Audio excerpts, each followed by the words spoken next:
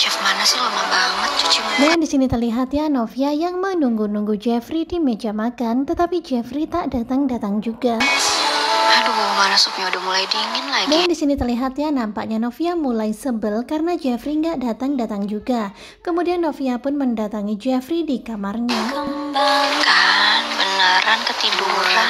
Dan di sini terlihat ya nampaknya Novia pun jadi sebel dan juga jengkel karena Jeffrey-nya ketiduran padahal dia sudah memasak spesial. Padahal udah capek-capek masak. Sementara itu di sini terlihat ya Tami dan juga Hakim yang lagi mesra-mesraan tetapi tiba-tiba Hakim harus ke toilet karena sakit perut. Sakit mulus banget, bener kan? Dan tentu saja Tami pun jadi heran ya dan juga penasaran kenapa akhir-akhir ini Hakim sering sakit perut.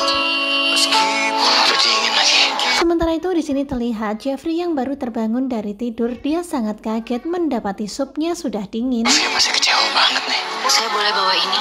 Sementara itu di sini terlihat Novia dan Jeffrey yang menjenguk Pak Arjuna di lapas penjara. Ke dalam.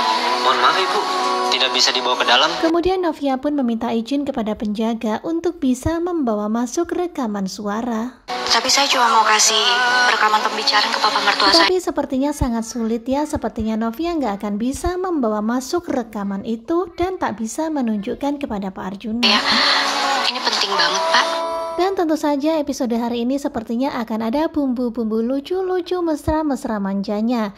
Ya tentu saja pastinya Novia ngambek gara-gara udah masak repot-repot eh Jeffrey-nya ketiduran. Dan di sini terlihat ya pasti ngambek-ngambeknya tuh lucu banget ya ngambek manja. Nah kira-kira apakah Jeffrey akan bisa meraih hatinya Novia kembali? Pastinya bisa dong ya.